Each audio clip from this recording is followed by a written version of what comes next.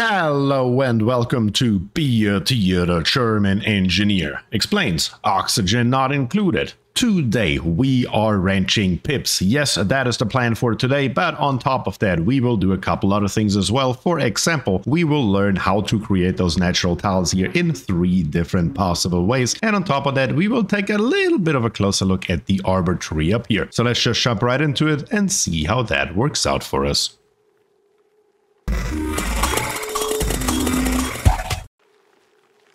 And here we are. And before we get started with this wonderful build here, here's a quick disclaimer. You will find a link in the description down below to a written guide. And this guide is what provided me with this particular build right here. It is a really well thought out build and it makes perfect sense. I'm just here to explain it and the full credit goes to the creator of this build. But now let's pause the game and then let's turn our overlay back on and let's see what we have here. First of all, what is this room here? Let's take a look. It is of course a stable with a room size of 96 tiles and it has 8 critters in it. 8 fully grown pips to be precise, and that is exactly the maximum amount of pips that a 96 tile farm supports. What exactly do we need in here? All we need is a grooming station as well as a critter drop-off. We don't need a feeder or a shearing station or anything like that. These here are the only two buildings that we need for our pips to be happy. So what else do we have in here? We have a couple conveyor loaders as well as three auto sweepers. And when we take a look at the reach, we can always reach this tile right here at the bare minimum on the left, on the right, and right here as well. And with this auto sweeper, we can reach this one tile up here in the corner as well. All that is important, or up here, your dirt will pile up. You're probably wondering, where's the dirt coming from? So let's take a look at the pips themselves. We have our pips right here. That's what they look like as little babies, and that's what they look like when they are fully grown up. They have a comfortable range of 10 degrees to 20 degrees Celsius and a livable range of negative 30 to 70 degrees. It's a relatively wide range. I think almost everybody should be able to accommodate that. So what is their diet? We have 0.4 units per cycle of tree and we get 20 kilograms of dirt out of it. We can also feed them thimble reeds and we will also get 20 kilograms of dirt out of it. That is going to be important later. As you can clearly see, this here is the arbor tree build. And you can also potentially see right here that I can actually select those branches here, all one by one. Also this one here on the top and this one here on the right. And how to build this here is a little bit more complicated than just plopping it in. So let's take a quick look at that. Over here, I have planted more arbor trees just so I can show it. So let's take a look at the arbor trees themselves. And when we can take a look in here, they have a life cycle of 4.5 cycle. That is if they are actually domesticated. If not, it's actually 18. A temperature of 15 to 40 degrees, an air pressure of 150 grams minimum. And if they are domesticated, they would need dirt and polluted water.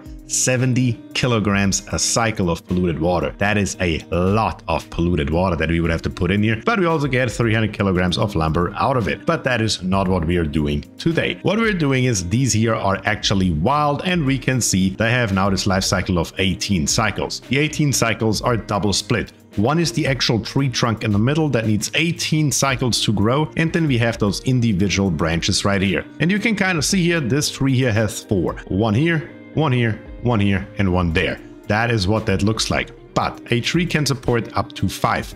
And to get the maximum out of it, we need to build ladders in between them up until the tree trunk is grown and the branches actually start to grow. As soon as that happens, we can come in here and get rid of these ladders. And that is exactly what I'm doing right now. So let's do that and then let's run the game. And we should be able to see that now another little tree piece is sprouting from every single tree. Now we have five. This one here just grew. The one in the middle here also has five. And this one here has also five. And in one tile can only be one of those branches. If we don't put the ladders in and therefore block those trees on the left and on the right to grow inwards, then the middle one will not be able to reach all five branches. That is important for efficiency, just something on the side, but that is all you're gonna hear about the trees today. Back to our pip farm. And here we are at our pip farm once again, and let's take a look in the overlay for shipping. You can see we are just coming straight through here. Here we have a conveyor rail. Up here we have a conveyor bridge, a another conveyor loader up here on the top, then a conveyor chute right here, and a conveyor chute right there. So what is this setup here?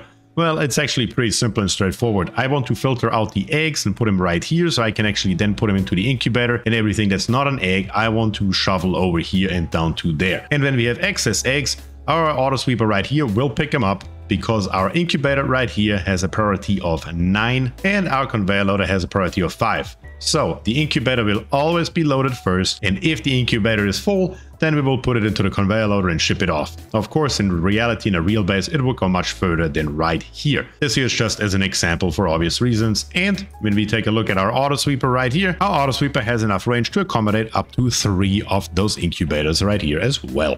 So you can actually expand this here if you want to.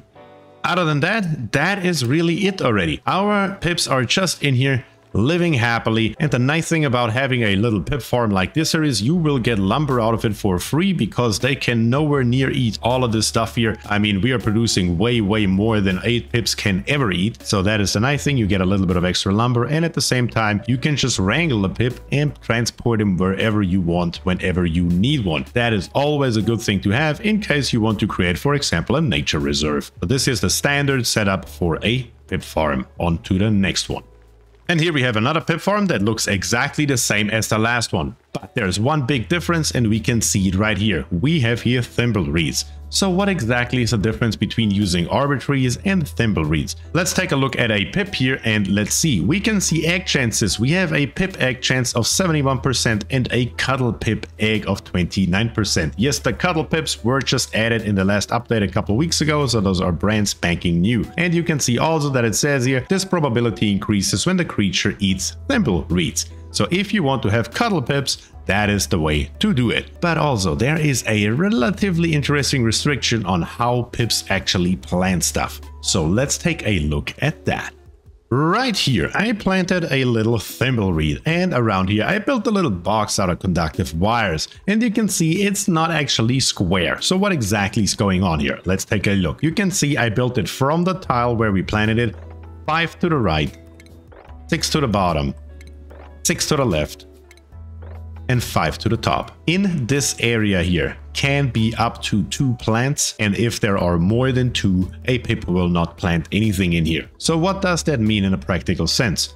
When we remember what our layout looked like, we have a plant right here, you have a plant right here, you have a plant right here, you have a plant right here, you have a plant right here, and so on and so forth. Every other tile is a plant, and every other tile from that is just nothing. So if we build from the right to the left, then we can actually do it because just with this example right here, we would have a plant right here and I'm just going to delete the pile where we have a plant. Here would be a plant and here would be a plant. So we have two, but not three. A third one can be planted right here. At this point, another one will not be planted in this area because we have violated what we need. If we plant it the other way around, you can see we have six right here. So we would have one here, one here, one here, and one here. On the left side, it does not work. And that is, of course, what we need to avoid. So how do we do this? It's pretty simple and straightforward. Where we don't want to build, we just take a piece of ladder and act like we are building it. Here I'm actually in sandbox mode, so it's getting built immediately. But at the same time, if you are not in this mode, then you can't just set it to a priority of one and never actually build it. Just having it planned right here is enough for a plant to never grow. That is important to keep in mind. If you don't do that, you will not be able to grow it. Always go from the right to the left. let's go back where we came from real quick. Here we are. So you would literally put a piece of ladder. Let's grab us a piece of ladder everywhere right here, right here, right here, right here, right here, right here, right here, and right there in every one of those cases, actually right here as well. I said a ladder, please, thank you. Just like this, imagine there is no thimble reed right now, and then we plant this one. As soon as that pip puts something in there, we cancel the build of this ladder. Wait until the pip puts something in here, and then cancel this one, and so on and so forth until we made it all the way over to the left. And that is exactly what that should look like, and that is how you build this. And we will do that in practice here in a very, very short time. But first of all, how did I get all this copper ore in here? Yes, this was not spawned by me in sandbox mode. That was actually created in a real game environment. So let's take a look at the three different methods how we can do that. And right here we have a little bit of a construct and I will show you how it's done. Let's take the one on the very right over here. Here we can see we have a manual airlock. This one here is built out of steel, doesn't really matter that much. And it has tiles all around it, all around it except the top. And that is the important part. If you build it like this, you can also chain it together, which is shown here on the left. And just so you're aware from right to left, we have gold, we have iron, we have cobalt, we have aluminum, and we have copper ore. In that particular order, it doesn't really matter. I just chose whatever because it makes no difference. So let me spawn in some dupes and show you how we can create natural tiles. And here now I have spawned in the dupes for this little experiment. We have Magenta, Kriwa, Cromulent Green, Eric Bogger, Dan Shiv, and Satse, sorted from the left to the right by the length of their wonderful YouTube membership. Thank you very much for supporting me directly, guys. I really, really appreciate it. So let's get started. What we need to do is we just need to deconstruct each and every one of them. So let's make a little bit of a race out of it and let's see. May the best dupe win. And it looks like it's going to be neck on neck who is going to win this race. And it is Cromulent Green. I can literally not tell. I believe Magenta, Cromulent Green and Satse won. And you can also see right here, that is exactly what I intended if you believe it or not, because it does not work every single time. So what do you do when it doesn't work? Well, you pick up the metal ore, it's exactly 200 kilograms, and if we take a look what our manual airlock door costs, yes, it's 200 kilograms, you are losing nothing. All you have to do is to try it again. So, we're gonna pause the game, we're gonna get rid of the gold right here, and then for example, we're gonna grab another one, make it out of gold, plop it into here, and then once again give the deconstruct command. And then we will see if it works on the second try. And here we have it, and you can see now we have created a natural tile. Again, it does not work every single try, but usually it works on the second, maximum on the third try. I don't think it has ever taken me longer than three tries. And that is how you make natural tiles out of manual airlocks. Let's move on to the next method. And right here we have our second method. So let's take a look what we have. We have a pitcher pump here on the left, where that is in your base of course does not matter. And we have a bottle emptier. And then down here we have algae. And algae we have on the left here 100 kilograms and on the right we have 100 grams. Just to show you that the weight really doesn't make that big of a difference. So what are we going to do? We're going to use something like crude oil that we can heat up really nicely. Currently it's set to 200 degrees Celsius. That may be a little bit hot. Let's make it 150, that's fine. And let's plop it into here. Next on the list, we will need a dupe. So let's grab a dupe and spawn a random dupe right here. A bottle emptier is set to auto bottle with a number 9 priority and crude oil. So let's see, Camille comes and puts in the crude oil. And what we can see here is that our algae is heating up. The right here should heat up a hell of a lot faster than the left, just because of the difference in mass. And as soon as we reach 125 degrees Celsius, we will see what happens. And here we have it. We have created two dirt tiles. We can now stop to actually put more of that stuff in there. Yeah, there we go. And we can also get rid of Camille so she doesn't complain over here. We can create dirt tiles made out of algae by heating them up to over 125 degrees Celsius. And the oil is just an example. There are several ways how you can heat up your algae to 125 degrees, and I'm about to show you another way how to do that. But First of all, let's get rid of all this stuff right here so we can take a closer look at it. We're going to say clear floor. Let's get rid of this. And then we will actually just mop the floor. And we can see we have here 100 grams worth of dirt. And here we have 100 kilograms worth of dirt. And it makes no difference. The pip will plant on here just as fine. Makes no difference whatsoever. Let's move on to our third method. And here we have our third and last build. So let's take a look at what we have here. First of all, of course, we have here metal tiles, as you can see, built out of aluminum in this particular case. And on top of that, we have algae, a tiny, tiny little amount, 100 grams to be precise. We also have some fertilizer, just to show you it also works with fertilizer. On top of that, it even works with slime, but slime outgasses and is usually harder to handle. So usually I would recommend fertilizer for later in the game when you've used all your algae up, so you can actually produce oxygen, or if you don't have access to algae at all, but both of them work perfectly fine. So on the right we have more algae as well. Then down here I have some crude oil. Why crude oil? Well, because we can heat it up to 125 degrees without anything crazy going wrong with it. For example, water would turn to steam for obvious reasons. So we have also a liquid tepidizer in here that is hooked up to power and to a signal switch. So let's see what happens. We turn it on and it heats up. And the liquid tepidizer has a maximum temperature, better to say a target temperature of 85 degrees Celsius. So as soon as our crude oil in here hits 85 degrees Celsius, it will automatically turn off. And that will happen here any second. Let's speed it up a little bit and we will see without me doing anything, it turns off. We need to get to 125 degrees.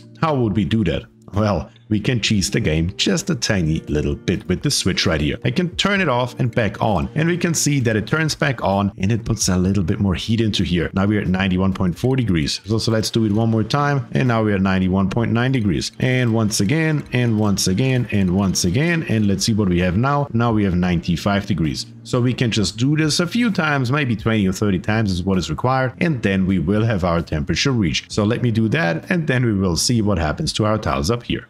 And here we had it. Oh, did you see that? All three tiles immediately went up there. And our crude oil is now at 128.9 degrees. Isn't that something? We barely made it because at 125 degrees, we will not be able to go higher. So even if I keep turning it on and off and on and off and on and off, nothing will happen. Here we are now at 128.5, but that is the end of it. Nothing will happen anymore, no matter what I do. So 125 is the max and we can maybe get it just a couple degrees higher. And that is all that is needed to actually get our tiles here converted and that is what we did and we have now three wonderful dirt tiles right here created with a liquid tepidizer. This setup here is obviously a hell of a lot more complicated than it should be, but it works. I just wanted to show you guys that it works, even though I would always strongly recommend the version with the manual airlocks. Right here I have a completely empty farm and here we will try to build it one by one by one manually. So let's take a quick look. We are going to put in one extra tile high in every single one of those. Of course for me it goes a little bit faster than it will for you guys because it gets built instantly but everything I'm doing here is absolutely and even very easily doable in a normal game. Then we're going to spawn in a handful of duplicates kind of something like this here. Don't mind the ones that actually don't show up and then we will tell them to deconstruct all these tiles not like that preferably. Though there we go. Let's try it again. And let's turn this here off. And then let's say deconstruct each and every one of those one right here. There we go. And the dupe should now start to deconstruct them. And once again probably not all of them are going to work. We have to probably do a couple of them a couple times. But this one worked this one worked. Let's see. Are we lucky today? These two here worked fine. Can we get the last two in? Apparently today's our lucky day all of them worked. And as a matter of fact, that is usually the case. But again, it can go wrong and you just have to redo it. So let's get rid of these dupes right here because we don't need them anymore. There we go. You have fulfilled your duties. Thank you very much, dupes. And now we can get rid of this extra tile that we built here just something like this here. And now we have our natural tiles in our farm. And then last but not least, we need to put those ladders in that I was talking about earlier. Something just like this here a ladder over each and every single one of them. Then we of course need some thimble reed leads. Those are of course important. Without those we can't plant anything. I just put one wherever. There we go. And as soon as you have reached this stage right here, you can bring in your pips. Video critter drop off, you just tell your dupes to wrangle them. I, of course, going to spawn him in. So let's see, we can go pips. And then let's grab us some pips and let's spawn in eight. One, two, three, four, five, six, seven, eight. Just like that. Then I go into filter destroy and I say buildings. And now we let the game run. The pips are running around and as soon as one feels like it, they will grab one of those uh, seeds right here and plant it right here in our, what is this here, gold. So let's see what happens then. And this pip here just planted our first one, so we can go ahead and get rid of the next one. So, and we're just going to play this game up until we are all the way over. So let me turn up the speed and then let's have a, a little bit of a montage right here.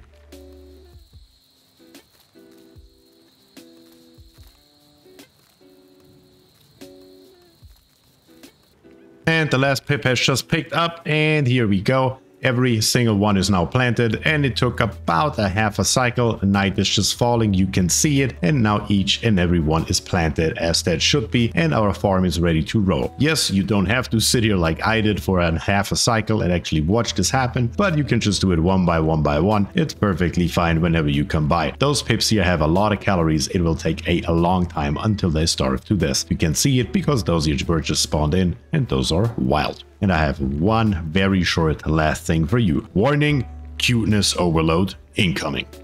And I of course cannot make an episode about pips since the Fast Friends update without the new Cuddle pips. Look at those things, aren't they just cute? Yes, here we have them. Those things are cute as hell and of course they're built with an insulated tile so the color scheme fits perfectly. What do the Cuddle pips actually do? Let's take a look at that as well so we are not just looking at the cuteness but actually learn something from it as well. They have a comfort range of 10 to 20 degrees and a livable range of negative 30 to 70 and they consume a little bit more Thimble Reed or Arbor Tree than our normal pips and they produce a little bit less dirt. And we can see that right here, 12.5 kilograms. And here's Ada actually grooming all of our cuddle pips and look how happy they are. Those are literally the cutest addition to Oxygen not included since the beginning of the game. There's absolutely no question about it. But that is all I have for you today, so if you enjoy the content, please subscribe to the channel, leave a like on the video and comment down below. You know it, I'm always happy to hear from you. And with that I say thank you and peace.